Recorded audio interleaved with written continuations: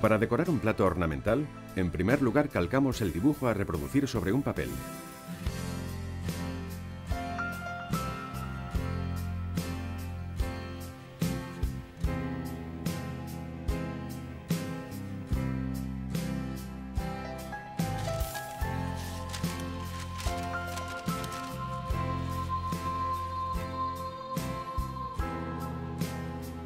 Con un punzón fino perforamos los contornos del dibujo.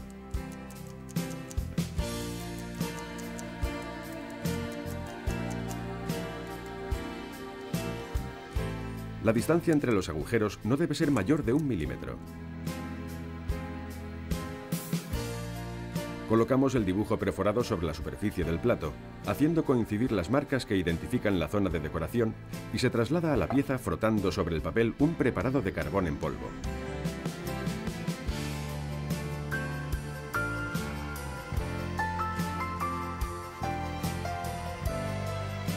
A este proceso se le llama estarcido.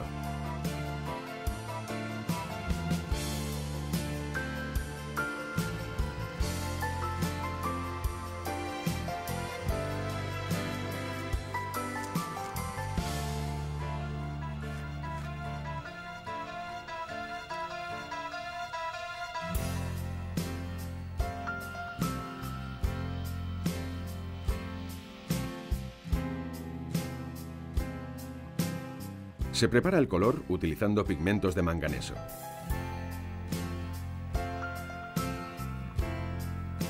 Apoyándonos en una madera elevada por encima del plato para no tocarlo, vamos dibujando líneas con un pincel perfilador, siguiendo el trazado de puntos.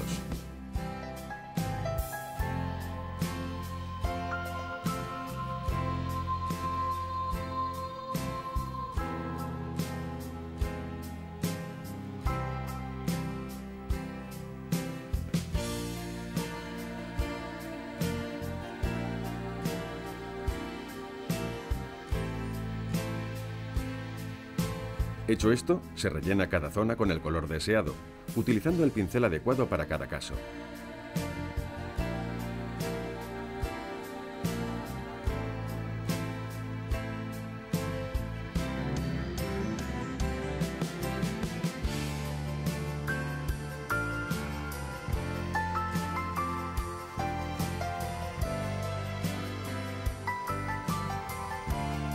Los colores son preparados en el momento con diferentes óxidos que dan lugar a diferentes tonalidades.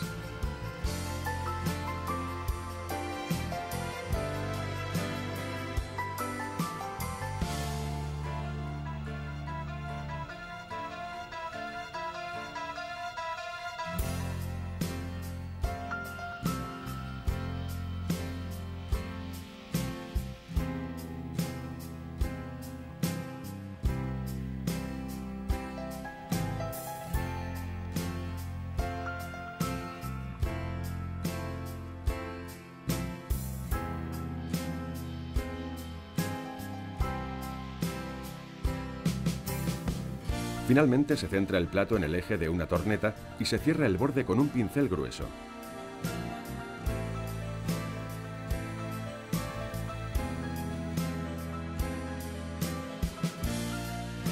El plato se sumerge luego en barniz líquido que oculta la decoración bajo una capa blanca.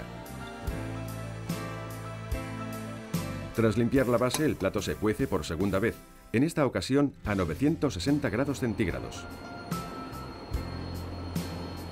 Este proceso se llama de decoración bajo cubierta. Durante esta segunda cocción, el barniz se funde y cubre la superficie de la pieza de una capa vítrea y transparente que muestra la decoración, la protege y la realza.